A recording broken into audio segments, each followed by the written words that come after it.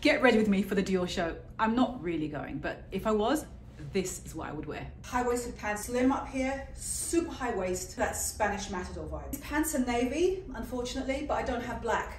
Cropped white shirt, Western boots, coat belt. Use that as a wide cummerbund. Vintage jacket. I have this twilly that I picked up from Paris. Literally gonna make a men's tie.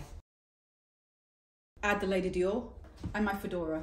I wish the top was straight like a true sombrero. Don't have that, but at least the brim is straight.